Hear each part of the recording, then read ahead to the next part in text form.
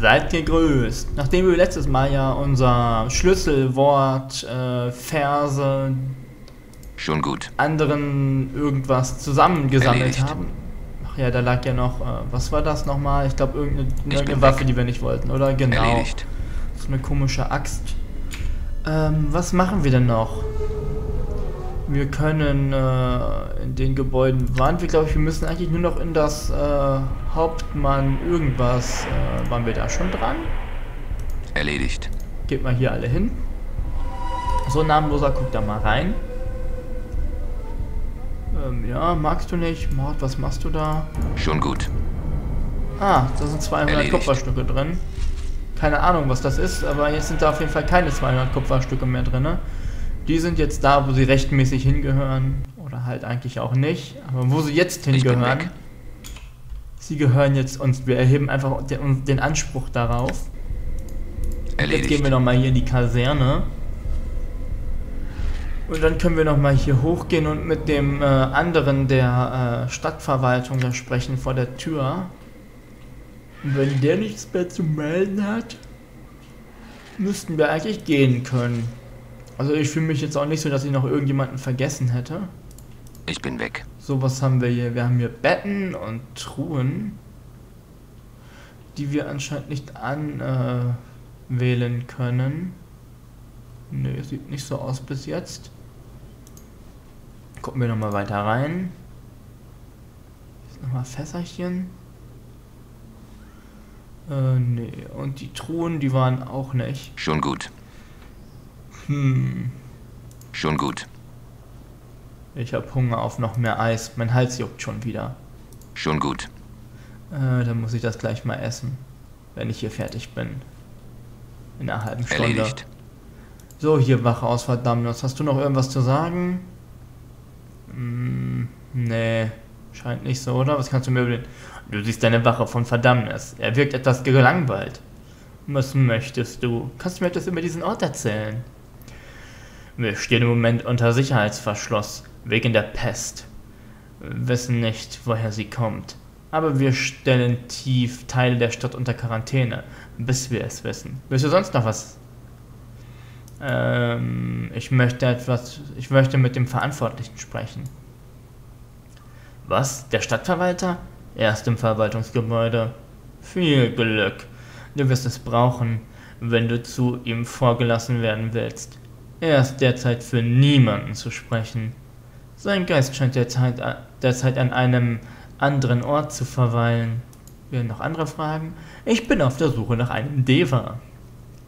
Dann suchst du am falschen Ende des großen Rings, Dossel. Denn selbst wenn du hier, denn selbst wenn es hier einen gäbe, würdest du ihn nicht finden. Er wäre fest unter Verschluss, wie das Gold der, wie das Gold eines Geizhalses. Äh, dann vergiss es, lebt wohl. Also ihr seid alle bestimmt so interessant, nicht wahr? War hier nicht gerade ein Fragezeichen? Ach, hab ich bestimmt wieder ver verguckt. So, raus hier. Ist ja super spannend hier drin, hat sich ja noch voll gelohnt. Erledigt. Ach, wenigstens sind wir in, in einer Stadt voller Limlims. Ah, das ist so wunderbar. Sie streuen dann Schon überall gut. rum. Ja, der Händler hat nichts äh, Besonderes für uns. Ähm, was ist mit dir? Nichts, lebt wohl. Also mit dir ist jetzt nichts passiert, sondern nur die komische Frau da wird verhaftet, oder wie? So, der ist weg. Was sagst du uns denn, Verwalter von Verdammnis? Du siehst einen elegant gekleideten Mann mittleren Alters. Als du näher kommst, blickt er dich gelangweilt an. Sei gegrüßt. Er deutet ein Nicken an. Du auch, Schleifer. Ich bin Karl Parfidor, Verwaltungsassistent. Kann ich dir helfen? Ich suche einen Deva. Man hat mir gesagt, er sei ein Verdammnis. Er blickt dich mit gerunzelter Stirn an. Du meinst wohl Trias? Ja, er ist hier. Genauer gesagt ist er im Gefängnis. Warum willst du zu ihm? Brauche ich einen Grund? Es ist eine private Angelegenheit. Ich habe ein paar Fragen, die nur er beantworten kann. Nehmen wir mal das. Er blickt dich eine Weile ruhig an. Ich verstehe. Nun, niemand darf ohne Erlaubnis von Tor Torvos Giljaf zu Trias. Er lächelt dich an. Und niemand wird zu Torvos vorgelassen, nachdem er nicht geschickt, nachdem er nicht geschickt hat. Ich schlage vor, dass du wieder gehst. Du kannst es doch sicher arrangieren, dass ich mit Tofu-Wurst sprechen kann. Er heißt Tovus. Tofu-Wurst, Tovus. Er lacht. Ja, aber ich habe nicht die Absicht, dir Zutritt zu gewähren, solange Tovus nicht nach dir schickt. Jetzt geh. Ich kann dich auch töten und einfach zu ihm reingehen. Es ist wichtig. Ich muss, es muss einen Weg geben, wie ich hineinkommen kann, um Tovus zu sprechen. Er schüttelt den Kopf. Der einzige Weg durch diese Tür ist, dass Tovus nach dir schickt. Oder ich dich hineinlasse. Tovus hat nicht nach dir geschickt und ich habe nicht die Absicht, dich selbst hineinzulassen. Er lacht. Außer natürlich, wenn du etwas Wichtiges für mich hättest. Hm, mir fällt nichts ein, was ich gern von dir hätte. Verstehe, leb wohl. Auch. Das ist der politische, korrupte Drecksäcke hier überall. Bankmanager.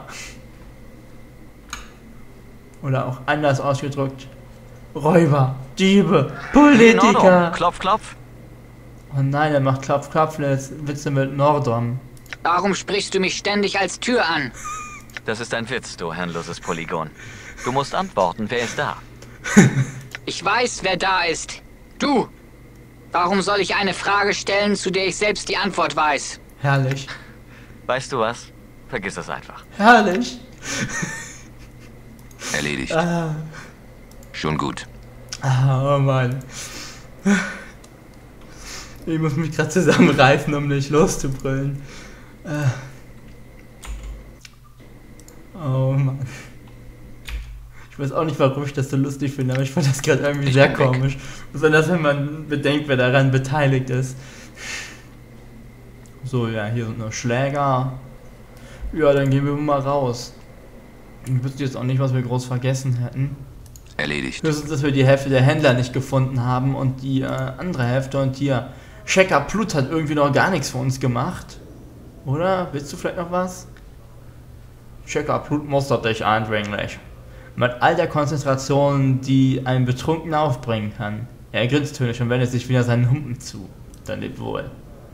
So, besudelter Barse. Bist du bereit zu gehen? Es gibt kein Zurück, sobald du hin hindurchgegangen bist. Wird das Tor geschlossen. Verriegelt und auf magische Weise geschützt. Willst du es tun? Ich bin bereit. Okay, vielleicht hätten wir das nicht sagen sollen. Oh, oh, oh, oh, oh. Trelons! Na, Blutdurst! So wie immer. Ich bin ein wenig aus der Übung, wie es aussieht. Ah, nix.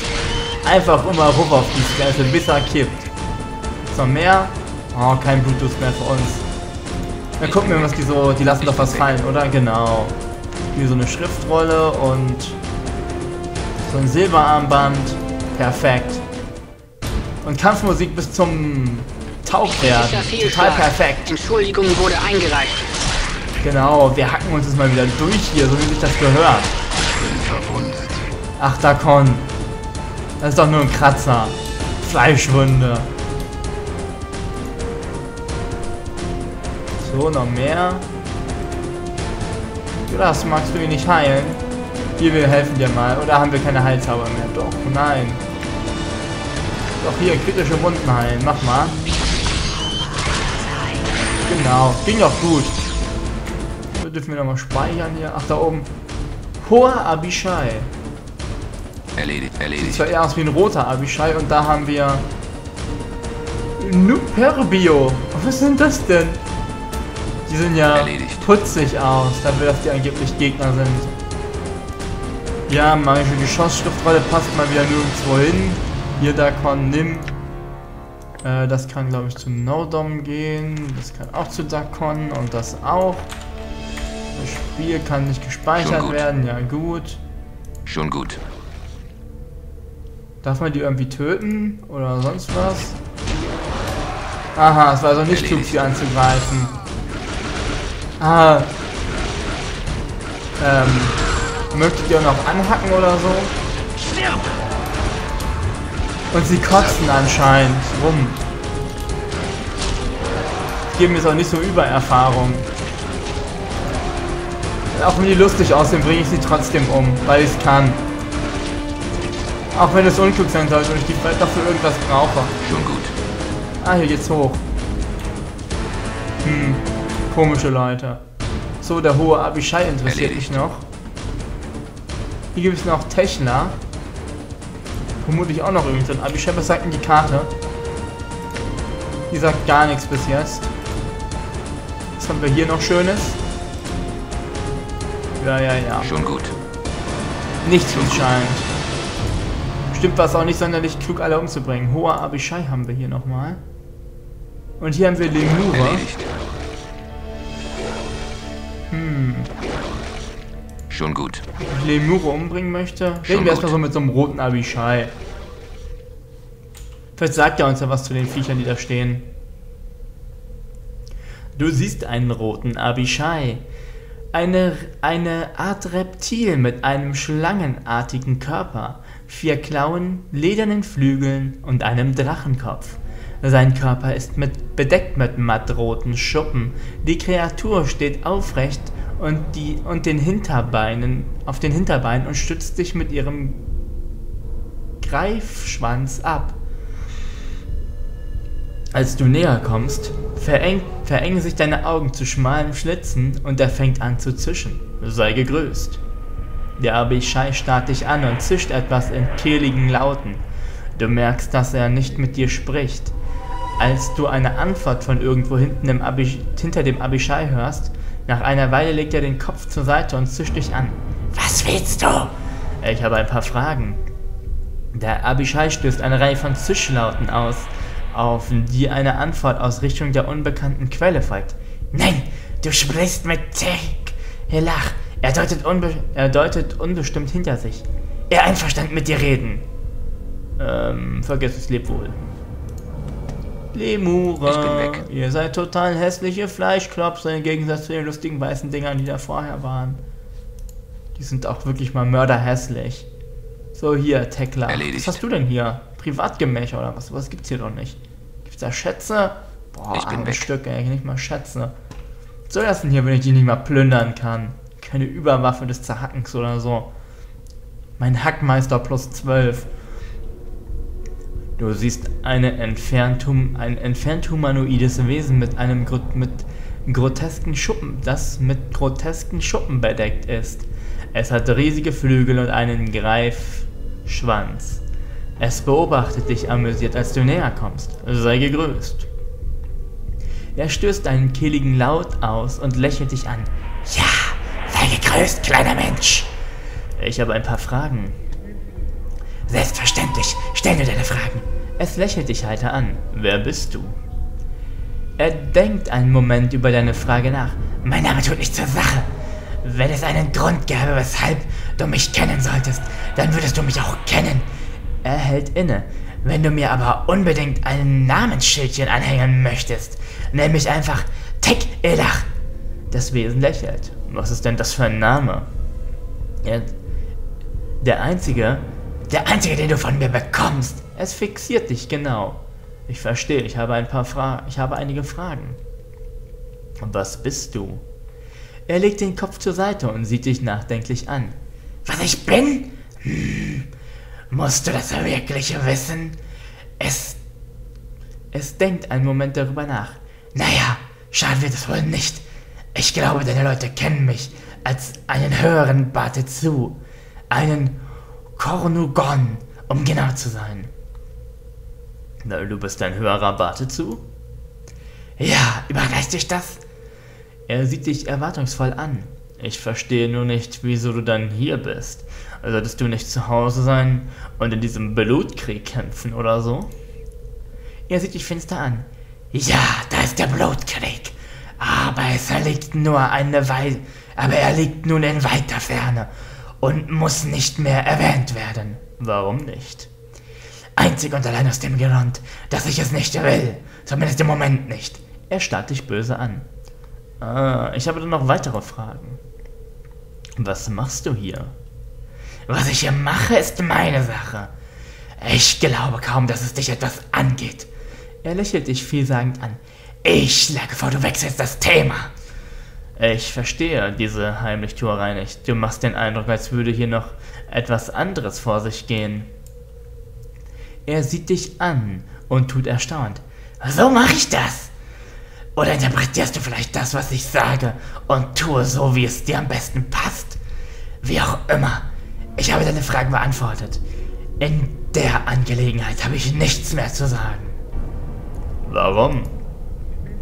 Einzig und allein aus dem Grund, dass ich es nicht will. Zumindest im Moment nicht. Er starrt dich böse an. Wir haben ein paar andere Fragen. Was kannst du mir über diesen Ort erzählen? Was gibt es da zu erzählen? Er deutet unbestimmt um sich herum. Sieh doch selbst! Alles liegt hier offen vor der Tür. Ich will das Gefühl nicht los, dass es hier mehr zu wissen gibt, als man auf den ersten Blick sieht. Er sieht dich an und tut erstaunt. Wirklich? Leidest du an Verfolgungswahn oder bist du so misstrauisch? Wie auch immer, ich habe deine Frage beantwortet und ich habe in der Angelegenheit nichts mehr zu sagen. Ja, kennen wir. Warum kannst du... Was kannst du mir über die Stadt der Verdammnis sagen?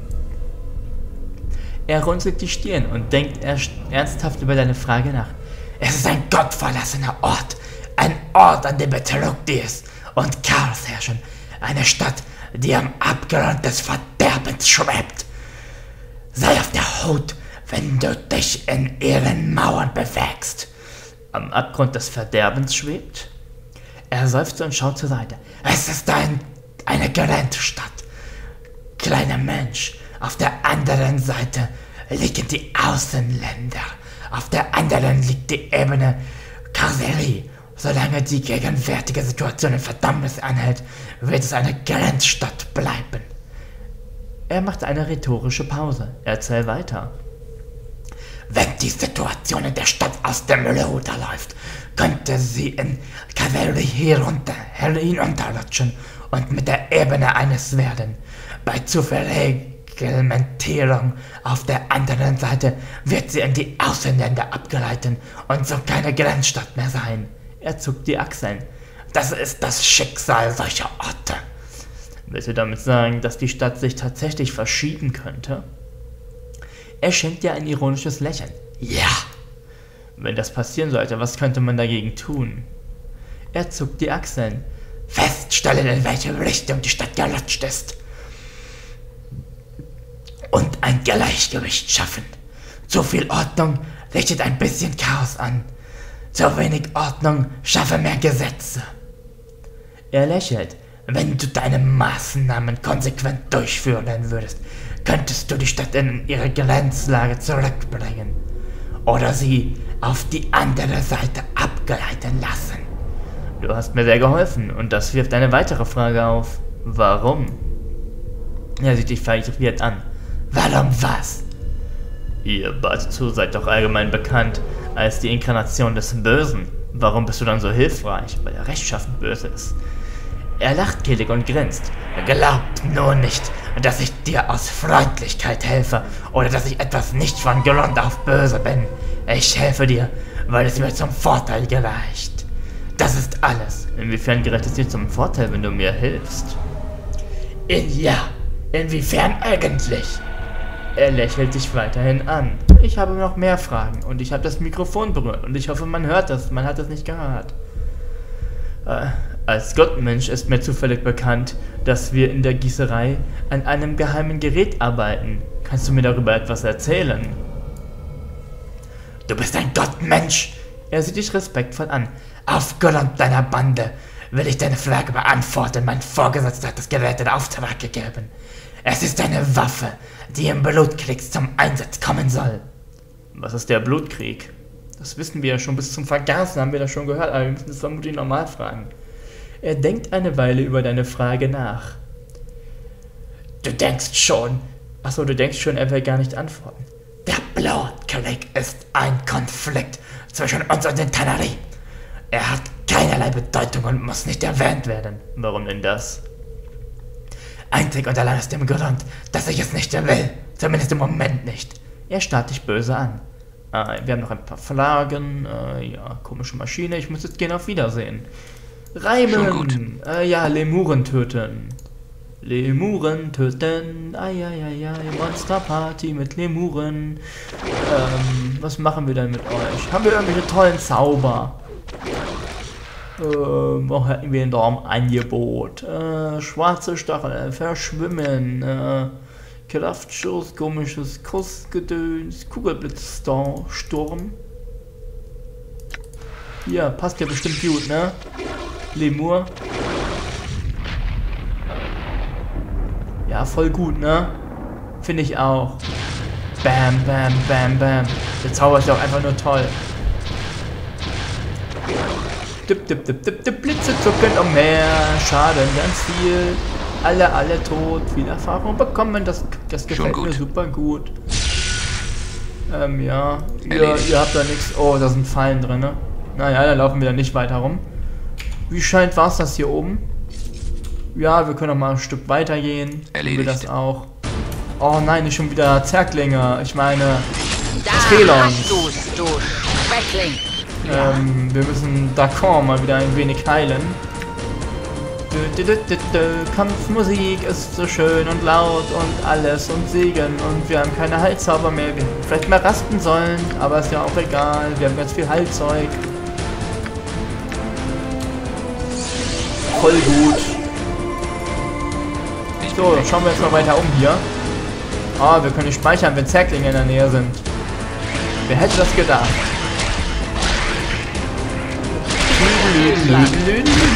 Alles ist gut. Ähm, was tut er da? Weg.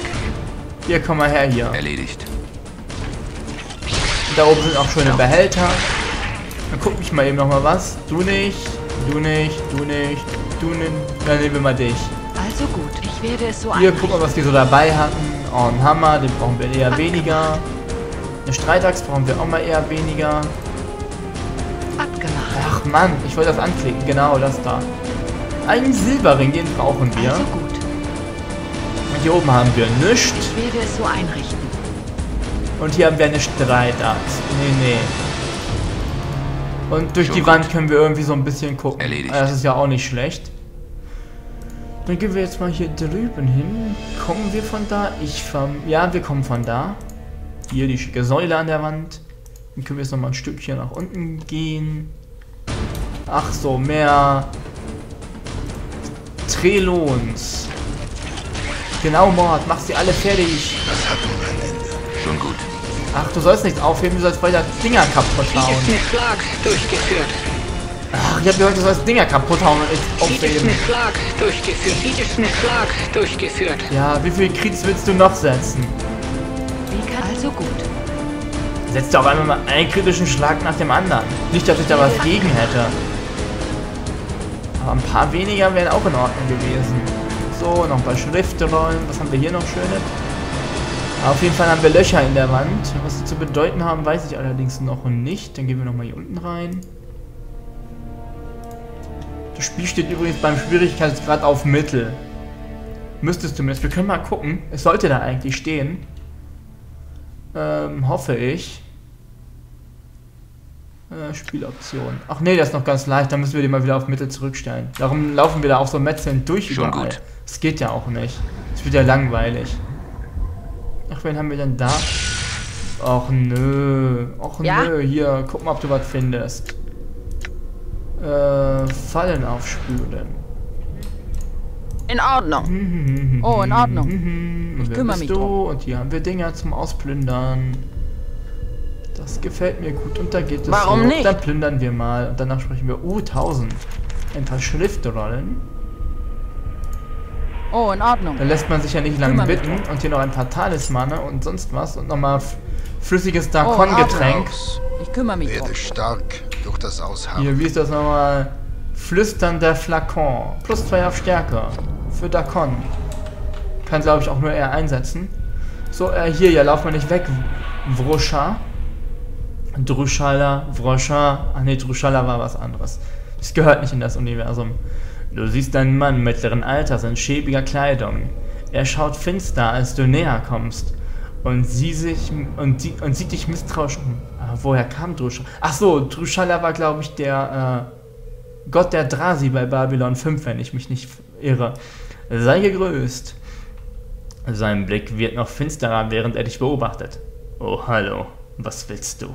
Ich habe ein paar Fragen. Was und was wären das für Fragen? Wer bist du? Er zögert, bevor er antwortet.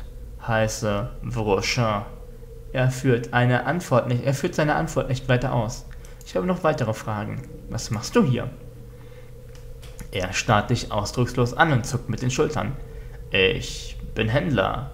Dies ist mein Lager. Was lagerst du denn hier so? Er runzelt die Stirn. Ich sehe nicht, inwiefern dich das was angeht. Ich bin nur neugierig. Er zuckt mit den Schultern. Naja. Er deutet unschlüssig auf seine Waren. Bier, Met und so weiter. Er sieht dich etwas nervös an. Wo ist die Option, ich möchte ganz viel Met kaufen? Boah, ihr Schweine. Warum nicht? Wieso bist du denn so nervös? Er zuckt nervös. Ich bin überhaupt nicht. Ich bin überhaupt nicht. Er sieht dich trotzig an. Könnten wir das Thema wechseln? Nein, ich glaube, du fühlst, du führst etwas im Schilde. Ich möchte gern wissen, was. Er starrt dich an und seufzt dann. Ich bring das Zeug durch diverse Kanäle rein. Die Wachen wissen von nichts. Oh, du bist ein Schmuggler. Han Solo haben wir getroffen. Er schaut finster. Ich bin Schwarzhändler. Hört sich besser an als Schmuggler, oder? Er schaut dich mit schlauer Miene an. Sag mal, was hättest du davon, wenn du mir ein bisschen zur Hand gehst? Gegen eine Beteiligung am Geschäft? Inwiefern zur Hand gehen? Er überlegt einen Moment. Hier in der Le Nähe lebt ein Gerles. Er hat schon versucht, mich zu töten. Das macht es für mich nicht einfacher, mein Zeug hier rauszubringen. Ich brauche jemanden, der sich darum kümmert. Was ist ein Gerles? Er zuckt mit den Schultern. Ach, das ist irgend so ein blödes Viech, das alles fressen will, was, man, was ihm unter die Augen kommt. Er sieht dich unbehaglich an. Warum erledigst du es nicht selber? Ich bin kein Krieger. Mir würde es, mich würde es gleich töten.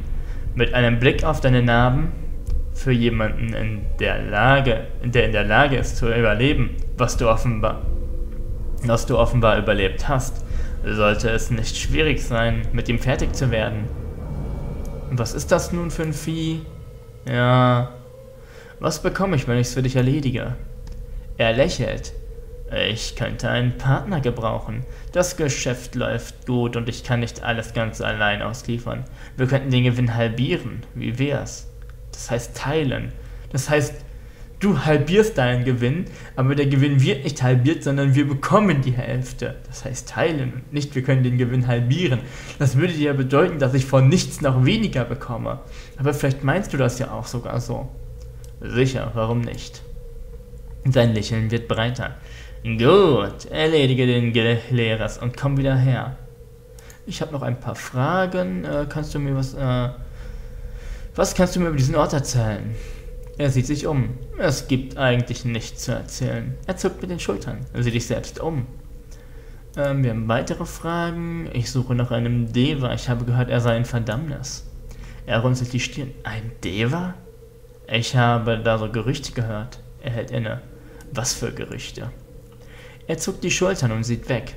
Hier unten wurde ein bisschen gegraben, weil ein Gefängnis erweitert werden sollte. Man sagt, sie seien dabei per Zufall in eine geheime Kammer durch. Sie wären per Zufall in eine geheime Kammer durchgebrochen. Er wendet sich dir wieder zu. Haben da irgendetwas oder irgendjemanden eingekerkert gefunden. Erzähl weiter. Einige sagen, es war ein Deva, den man dort fand. Andere sagen, es war ein Batezu.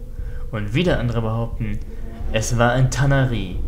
Er zuckt die Achseln. Mir persönlich ist es ziemlich egal, was auch immer es ist. Ich werde mich davon fernhalten. Äh, ja, wir haben sonst noch hier so, ne, ne, oder? Ein paar Fragen. Ne, ich muss gehen, leb wohl. Erledigt. Hier, wir töten ein Vieh bestimmt mal demnächst. Schon gut. Oder ja, wir können eben noch ein Stück rumlatschen und dann war's das auch. Ich gehe mal davon aus, dass der hier irgendwo um die Ecke liegt. Dieser Haufen Schuttbalken versperrt deine Rückkehr in die obere Welt, versperrt deine Rückkehr in die obere Welt. Wie sehr du auch den Haufen, wie, wie sehr du auch an dem Haufen gräbst. Der Schutt versperrt dir den Durchgang. Ach, das ist wahrscheinlich, wir hätten ja von oben hier irgendwie so reinrutschen können. Ich bin weg. Ah ja, reinrutschen von oben, das ist jetzt dumm gesagt. Äh, Was ist das? Achso, das ist ein Gerüst. Warum greifst du uns nicht an? Ich wollte doch gar nicht mit jemandem reden. Du siehst ein hochgewachsenes, schlankes Wesen mit langen Armen und einem kläglichen Kopf. Aus seinem riesigen Mund schauen mehrere Fangzähne hervor und seine Finger haben lange Krallen. Sie starren dich unverwandt an, während du näher kommst. Sei gegrüßt. Das Wesen dehnt sich vor und schnüffelt an dir.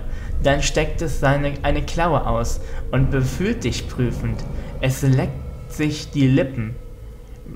Bist ein bisschen zäh, aber vielleicht bist du ja trotzdem ganz schmackhaft. Ich habe ein paar Fragen.